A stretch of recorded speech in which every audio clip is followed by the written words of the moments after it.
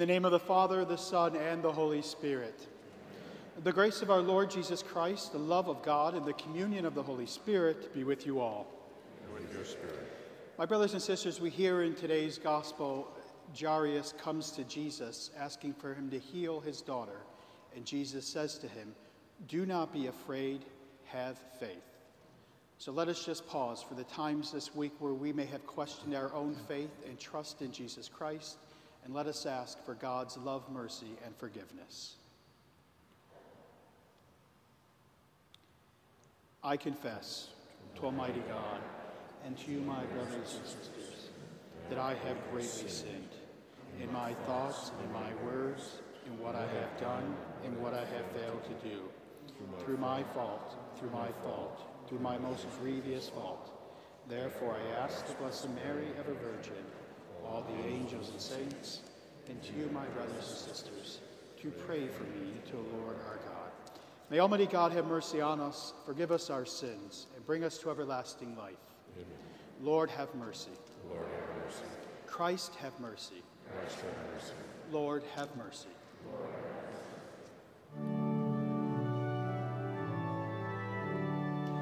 Glory to God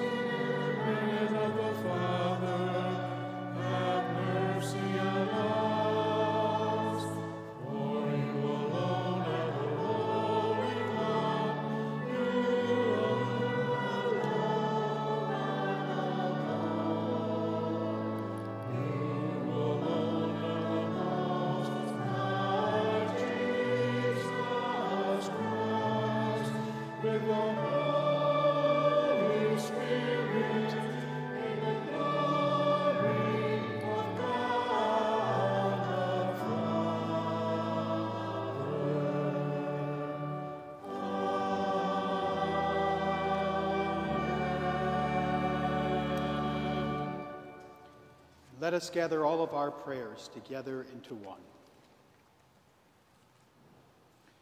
O God, who through the grace of adoption chose us to be your children of light, Grant, we pray, that we may not be wrapped in the darkness of error, but always be seen to stand in front of light of truth.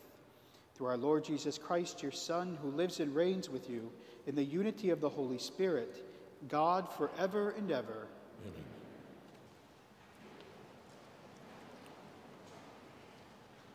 A reading from the Book of Wisdom.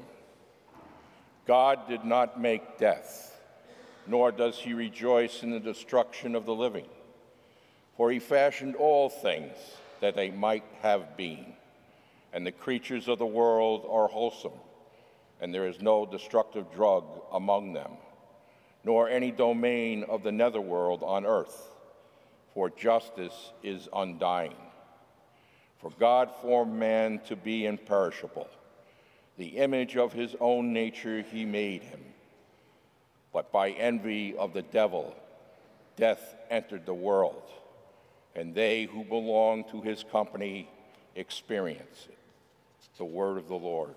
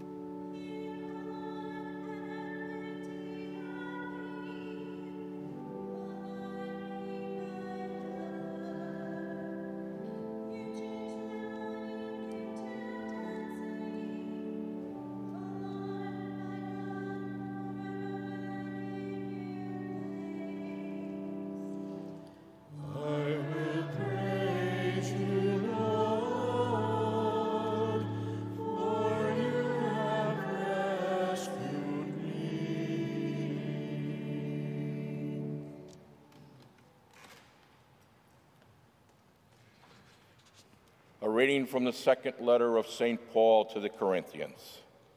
Brothers and sisters, as you excel in every respect in faith, discourse, knowledge, all earnestness, and in the love we have for you, may you excel in this gracious act also. For you know the gracious act of our Lord Jesus Christ, that though he was rich, for, you, for your sake he became poor, so that by his poverty you might become rich. Not that others should have relief while you are burdened, but that as a matter of equality, your abundance at the present time should supply their needs, so that their abundance may also supply your needs, that there may be equality. As it is written, whoever had much did not have more, and whoever had little did not have less. The word of the Lord.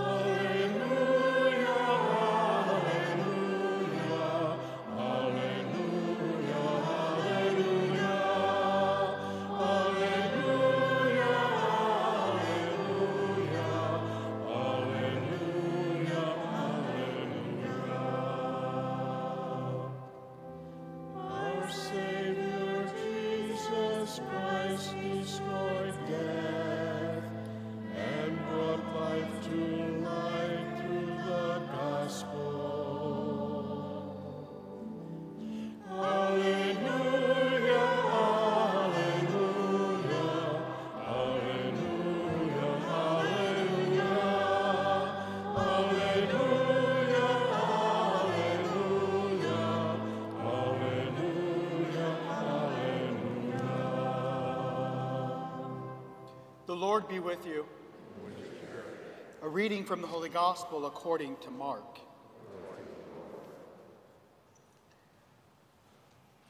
When Jesus had crossed again in the boat to the other side, a large crowd gathered around him, and he stayed close to the area, the sea. One of the synagogue officials, Jairus, came forward. Seeing him, he fell at his feet and pleaded earnestly with him, saying, My daughter is at the point of death. Please come lay your hands on her, and she will get well and live. He went off with him, and a large crowd followed him and pressed upon him. There was a woman afflicted with hemorrhages for 12 years. She had suffered greatly at the hands of many doctors and had spent all that she had. Yet she was not helped, but only grew worse. She had heard about Jesus and came up behind him in the crowd and touched his cloak. She had said, If I but touch his clothes, I shall be cured. Immediately, her flow of blood dried up. She felt in her body that she had been healed of her affliction.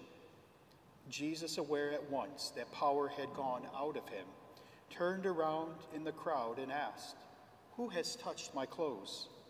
But the disciples said to Jesus, You see how the crowd is pressing upon you, and yet you ask, Who touched me? And you looked around to see who had done it. The woman realized what had happened to her, approached in fear and trembling. She fell down before Jesus and told him the whole truth. He said to her, Daughter, your faith has saved you. Go in peace and be cured of your affliction.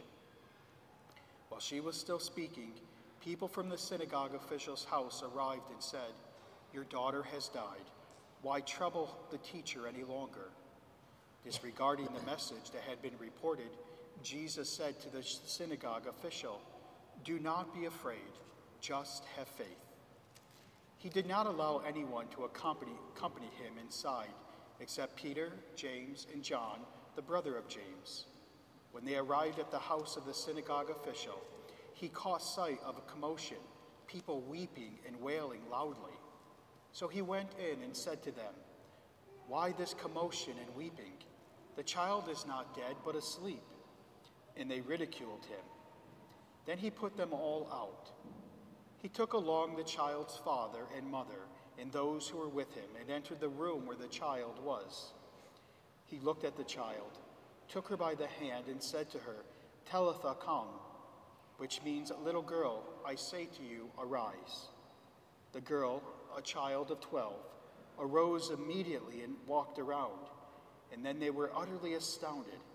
He gave them strict orders that no one should know of this, and said that she should be giving something to eat. The Gospel of the Lord.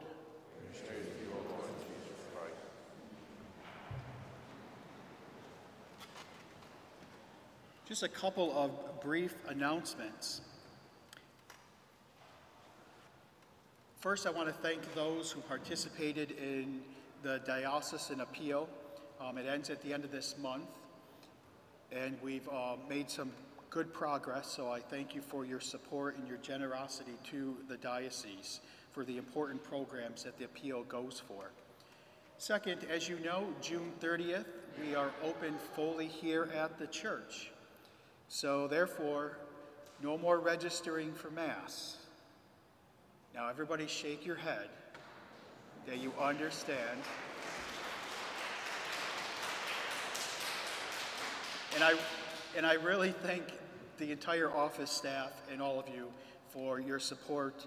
Um, it's been a long road and we've come through it. So next week, no phone calls to Father about if you're coming or not.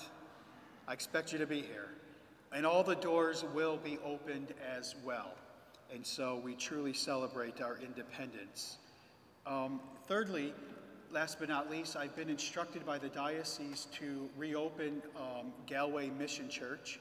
So it'll probably happen sometime in July. We got to look at all the mass schedules for the weekend and decide how we're going to um, accompany this.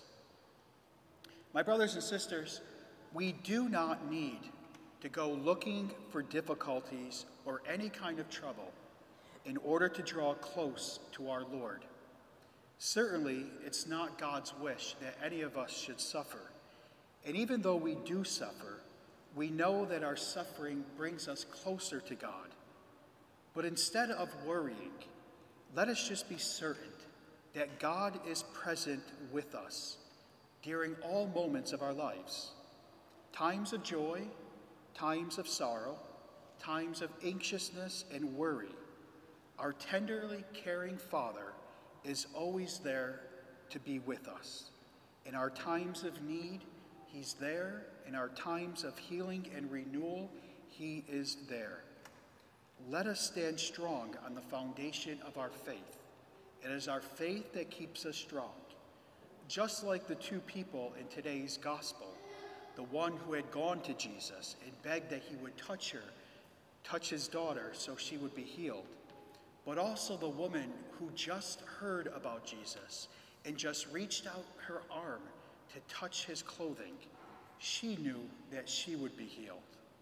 Both of these people approached Jesus with some kind of fear and worry and anxiety. And he tells Jairus, Do not be afraid, just have faith. The woman who was suffering for 12 years, her faith was so strong that all she wanted to do was just touch the cloth that Jesus wore, knowing that she would be healed. If our faith is as strong as the two examples we have in this week's gospel, then we will get through anything. The message that Jesus gave to the, all the people that very day is the same message that we must live by. Do not be afraid, just have faith. In the name of the Father, the Son, and the Holy Spirit.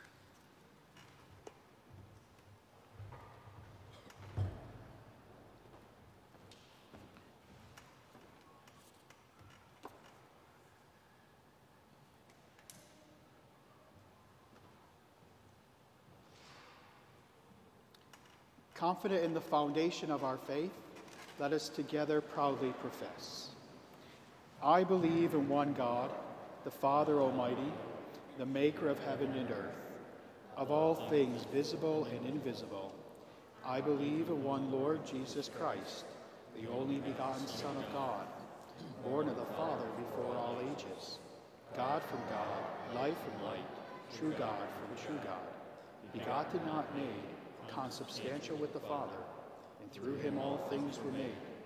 For us men for our salvation, he came down from heaven, and by the Holy Spirit was incarnate to the Virgin Mary and became man.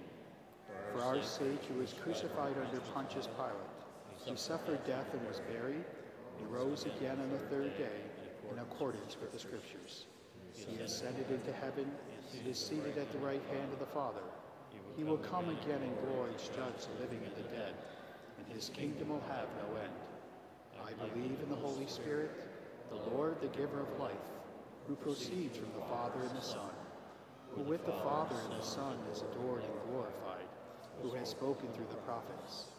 I believe in one holy Catholic and Apostolic Church.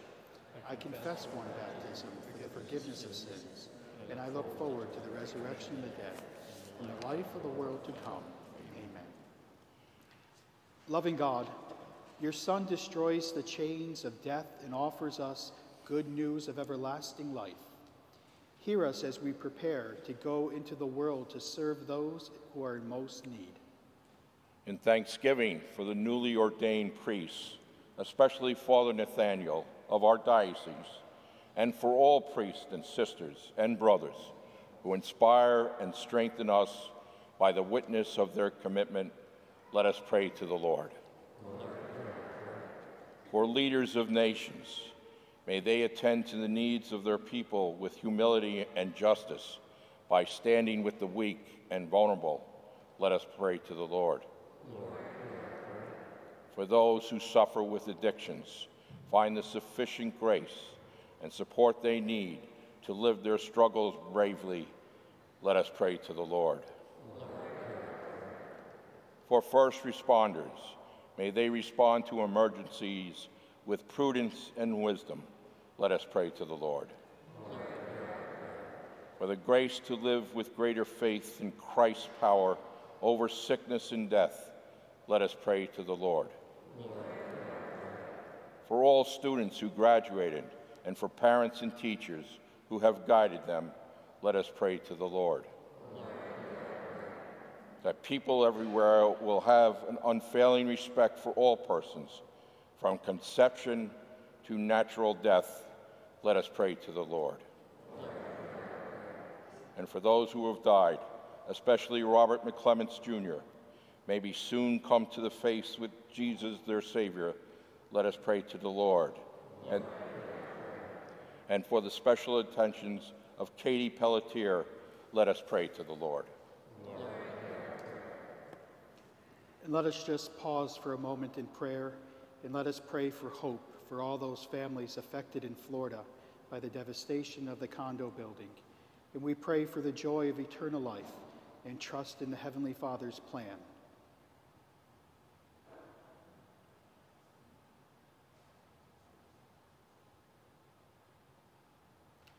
We pray to the Lord. God of life and of the living, you make all things that have breath. We offer you our prayers and we ask that you hear and grant what we ask in the name of Jesus Christ our Lord. Amen.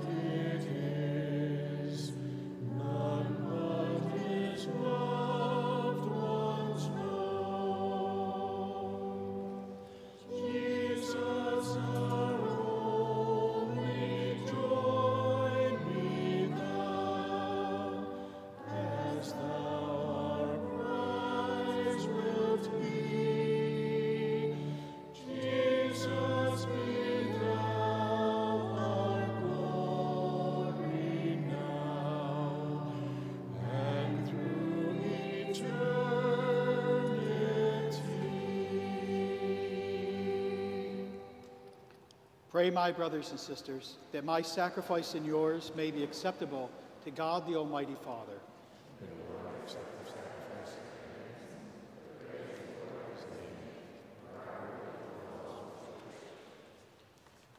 O God, who graciously accomplished the effects of your mysteries, grant, we pray, that the deeds by which we serve you may be worthy of these sacred gifts through Christ our Lord. The Lord be with you. Lift up your hearts. Let us give thanks to the Lord our God. It is truly right and just, our duty and salvation, always and everywhere to give you thanks, Lord, Holy Father, Almighty and eternal God. For you so loved the world that in your mercy you sent us the Redeemer, to live like us in all things but sin, so that you might love in us what you had loved in your Son, by whose obedience we have been restored to the gifts of yours, that by sinning we had lost in disobedience. And so, Lord, with all the angels and saints, we too give you thanks as in exultation we acclaim.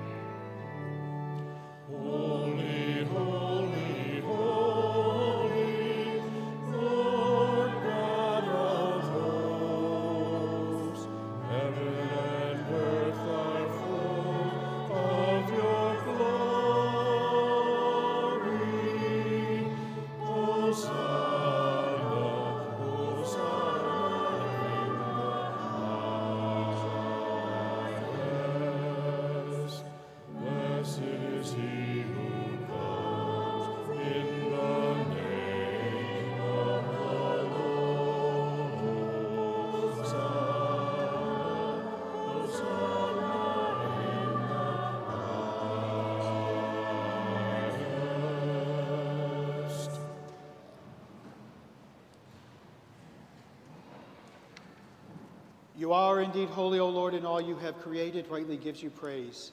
For through your Son, our Lord Jesus Christ, by the power and the working of the Holy Spirit, you give life to all things and make them holy. And you never cease to gather a people to yourself, so that from the rising of the sun to its setting, a pure sacrifice may be offered to your name. Therefore, O Lord, we humbly implore you, by that same Spirit, graciously make holy these gifts we have brought before you for consecration, that they may become for us the body and blood of your Son, our Lord Jesus Christ. At the time he was betrayed and entered willingly into his passion, he took bread, giving thanks, broke it. He said the blessing and gave it to his disciples, saying, Take this, all of you, and eat of it, for this is my body, which will be given up for you.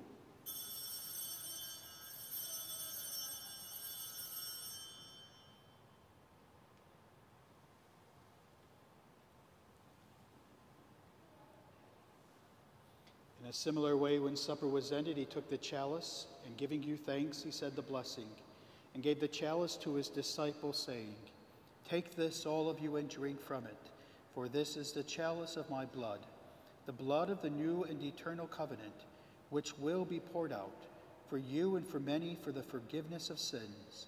Do this in memory of me.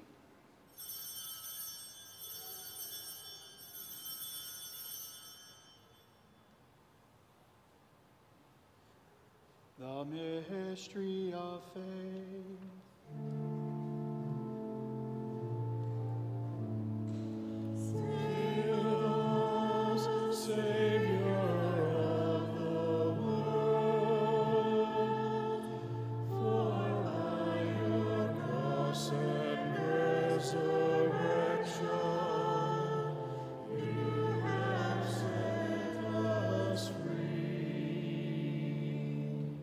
Therefore, O Lord, as we celebrate the memorial of the saving passion of your Son, his wondrous resurrection and ascension into heaven, and as we look forward to his second coming, we offer you in thanksgiving this holy and living sacrifice.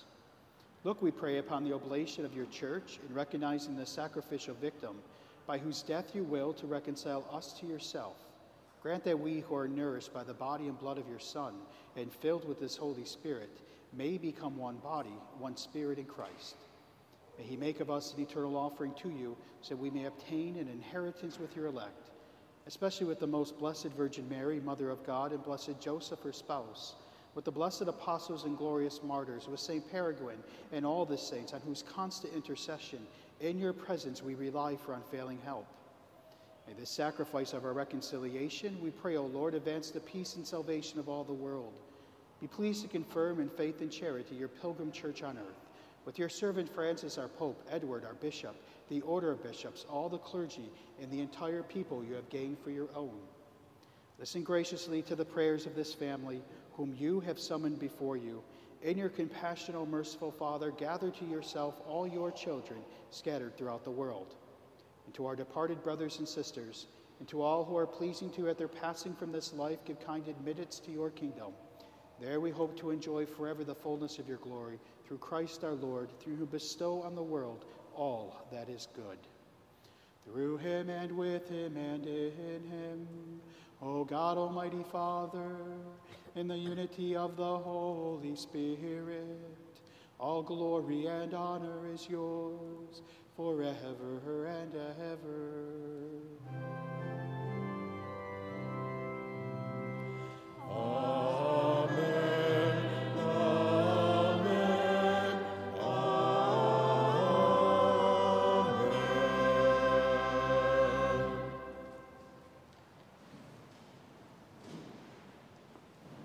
At the Savior's command, formed by divine teaching, we dare to pray. Our Father, who art in heaven, hallowed be thy name.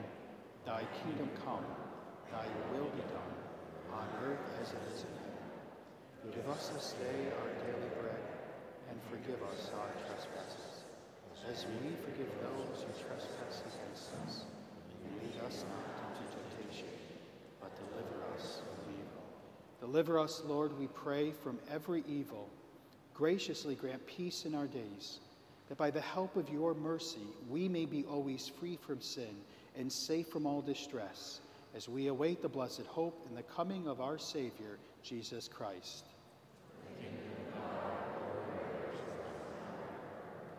Lord Jesus Christ, who said to your apostles, Peace I leave you, my peace I give you.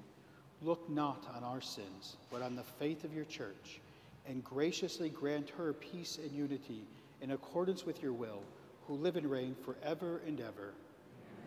The peace of the Lord be with you always. Lamb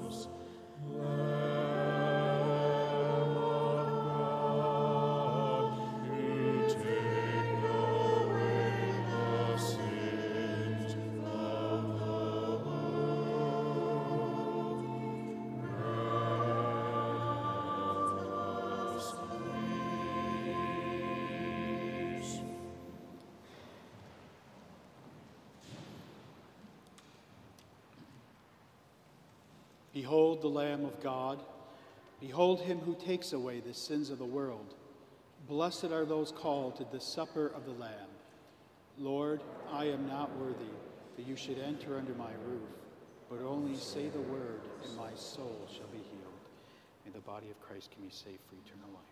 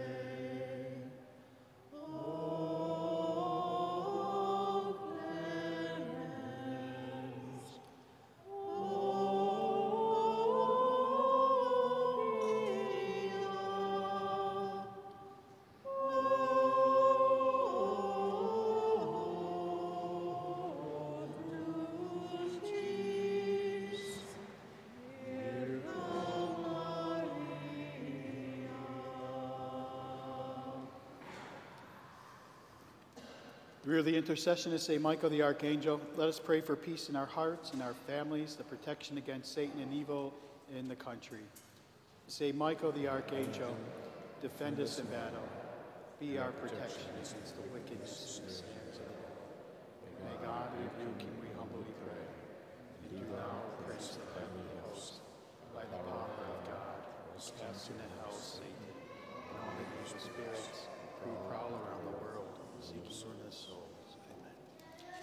And on this 40th anniversary of the apparitions in Medjugorje, Our Lady, Queen of Peace, let us pray.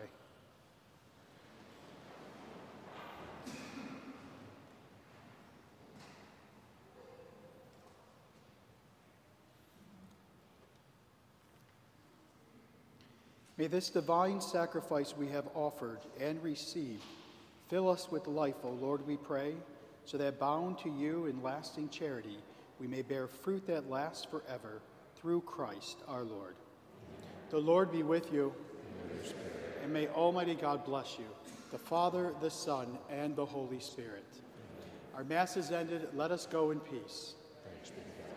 Have a beautiful week, everyone.